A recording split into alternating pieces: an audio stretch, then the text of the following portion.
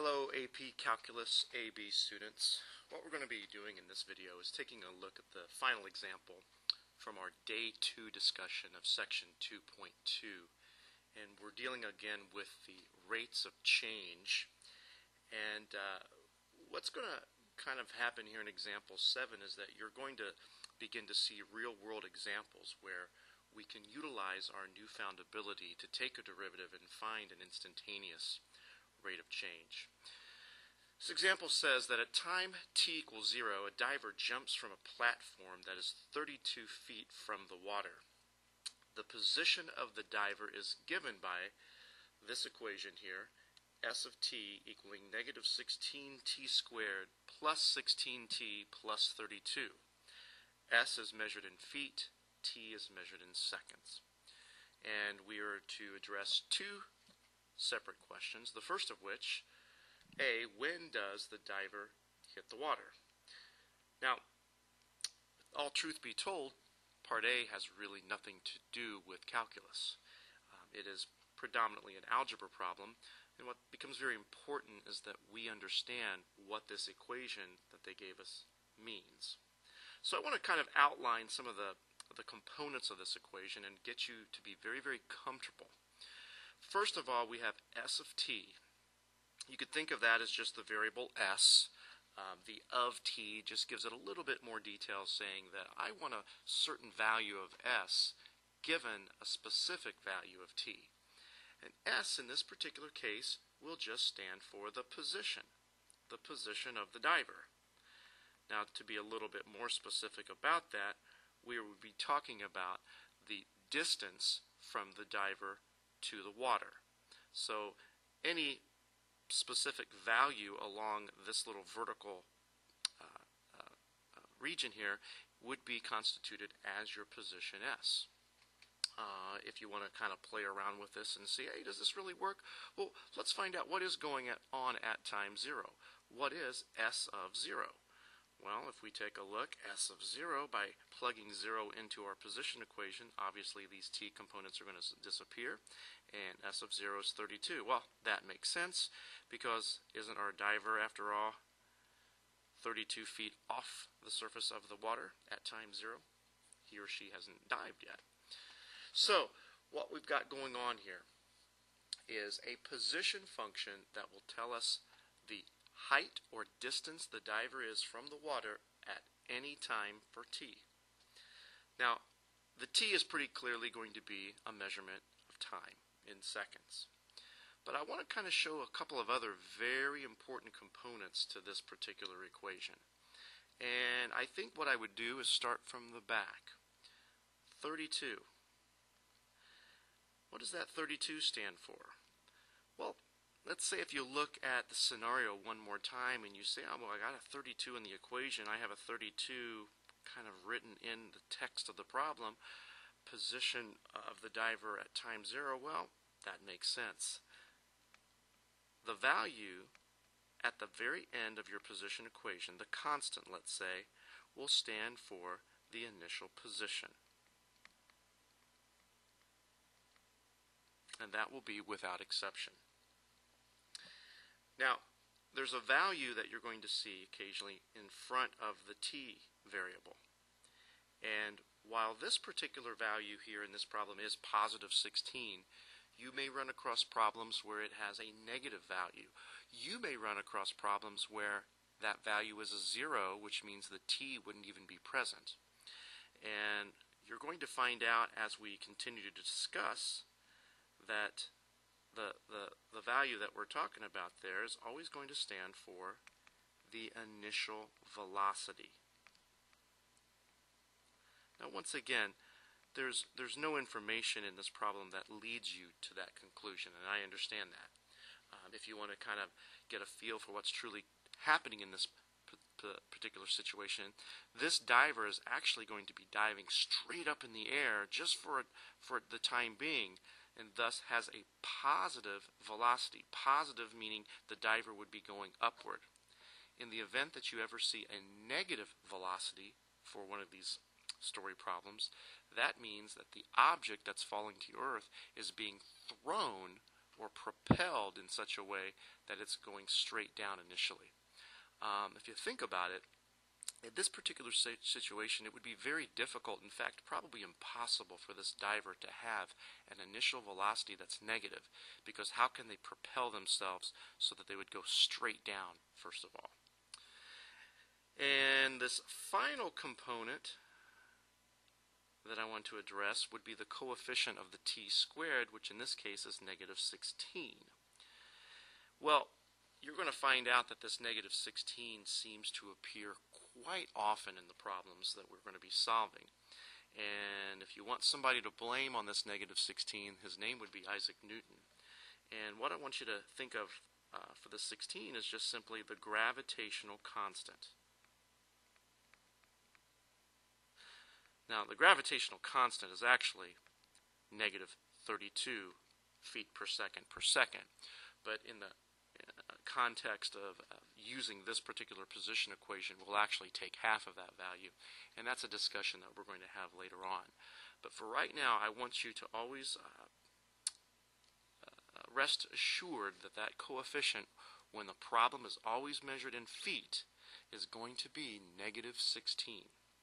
In the case of a problem that uses meters, and that sometimes will happen, that gravitational constant that you'll put out in front of the t squared will be negative 9.8. Okay, for the purpose of our text and the assessments that we use, I won't use anything other than the negative 16 or the negative 9.8. Okay, let's go on to part A of this particular problem. When does the diver hit the water? Well, if again you think about the fact that the position S of t stands for the height that the diver is from the water, let's let this diver take a dive and we think, all right, splash, the diver hits the water. Well, hmm, what would be the diver's position when the diver hits the water? How far from the water is the diver when the diver hits the water? Well, hopefully you come up with the conclusion that that would be a height or a position of zero. And that's exactly what it is. So in this particular problem, all we need to do is to take that position equation, negative 16t squared plus 16t plus 32, set it equal to 0, and solve for t. Now, there are a variety of ways that you can solve for this t. You could use your TI Nspire calculator, the solve feature. Uh, you could even graph it. I think that the best approach for this particular example would be to solve it analytically, not using the calculator, because uh, this could very easily be an assessment item that could appear on the no calculator part uh, of a test or a quiz. So to factor uh, this uh, properly, I think we'll bring out a negative 16t, or I'm sorry, a negative 16 from the very beginning. And that would leave us with uh, t squared minus t minus 2. Continuing to factor, uh, we would find out that this would break apart into uh, t minus 2, t plus 1. Hence, you can see why that this was an easy one to do by hand. The negative 16 constant really isn't going to have much of a bearing on the problem because if you set it equal to 0, there's no solution that's going to come of that. The other two binomials, of course, would give a positive 2 and a negative 1, but since t has uh, to do with time, uh, it doesn't make a lot of sense to use a negative value for time. So we're going to throw him out. So our answer would be at 2 seconds. The diver would hit the water. Once again, not much calculus going on in that particular part. Now in part B, what is the diver's velocity at impact? Now that's a different story as far as calculus is concerned. Just the simple fact that we see this word velocity could indeed indicate that calculus is going to be used. But if you remember from example 6, there are two different ways to compute velocity. You can have an average velocity, which is not necessarily a calculus idea. It's just a matter of taking the change in distance and dividing it by the change in time. But when we talk about at impact with this problem, that does denote a specific moment, or as we said before, an instantaneous type of velocity. So if we've got to figure out what the velocity is going to be, well, we would like to have a velocity equation. And that's where calculus comes in, and that's where this becomes very powerful. Once again, recall that velocity is defined to be the, the derivative, I should say, of the position. So all you've got to do is find an s prime, which is very easy in this problem. Going up to the initial equation here, the derivative would be negative 32t plus 16, and of course the 32 here at the end would cancel or would become 0. So that would be our velocity equation. Negative 32t plus 16 is equal to our v of t. Now to find out specifically what is the velocity at impact, because after all, we could find the velocity at any time we wanted to. We could find the velocity, say, at time zero. Well, I know it's not part of the problem, but maybe this will sort of uh, reinforce something that I mentioned earlier. Let's plug in 0 for this t. What do you get? Well, the negative 32 times 0 cancels out, and we get 16. Ah, well, didn't we say just a moment ago that the coefficient of the t value, which up here is the plus 16, stands for the initial velocity?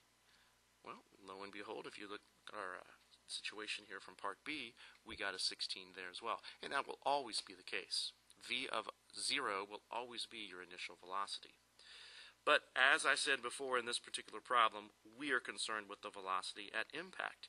So all we need to do is plug in a time here for the velocity equation.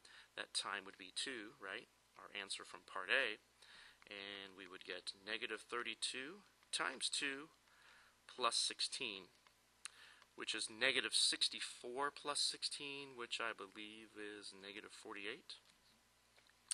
And if we were to place a label on this, which is very, very important, um, velocity is a, is a measure of, of a distance over a time, and this distance obviously is a, is a feet unit, and the time would be a second unit and thus we have negative 48 feet per second.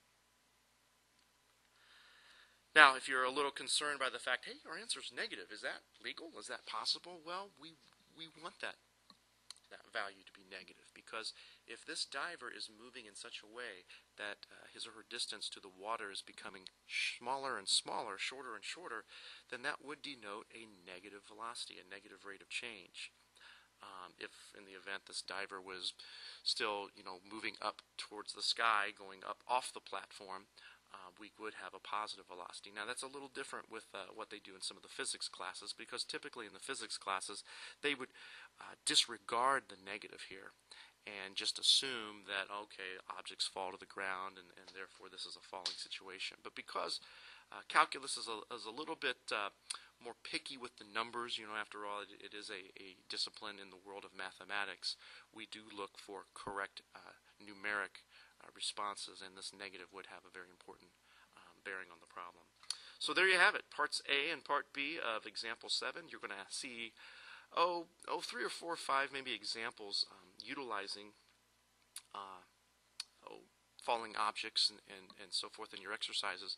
And it's very important that you, you spend a, quite a bit of time with those. Otherwise, um, you can be like a lot of other students have been in the past and you become really confused by position velocity equations.